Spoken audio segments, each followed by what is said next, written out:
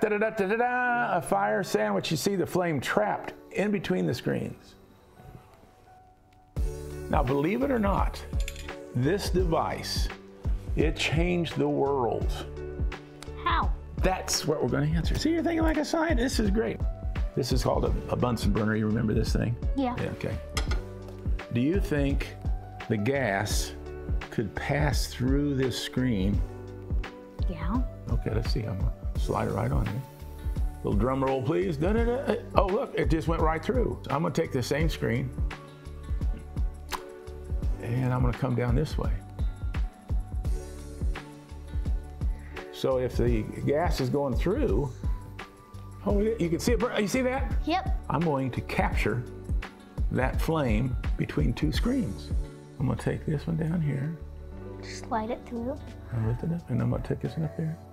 And if you look, what, what's going on? Is there a fl- is there a flame down below? Yep. No. No, up up above. Oh, Yep. there it was. Here, see, we're gonna make a fire sandwich. Da da da da da da da. A fire sandwich. You see the flame trapped in between the screens. What is so special about that lamp? The fire won't go out of it. You're less likely to burn yourself.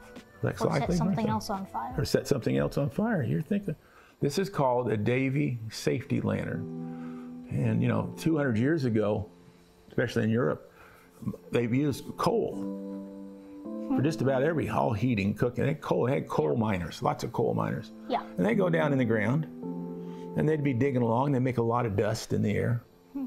coal dust. And every once in a while, You would light something and it would set all the coal dust on fire. set the coal dust on fire. But the only way they could light things up back then was with flames like this. And they had helmets that had little uh, candles on them.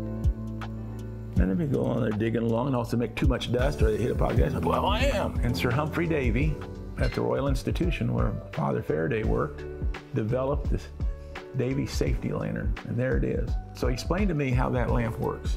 Well, the same way as the fire sandwich. Yeah. That's sucking all the heat from that so it doesn't have enough heat to light something. And now you, you are one of the few people that know the secret of the uh, Davy safety lantern.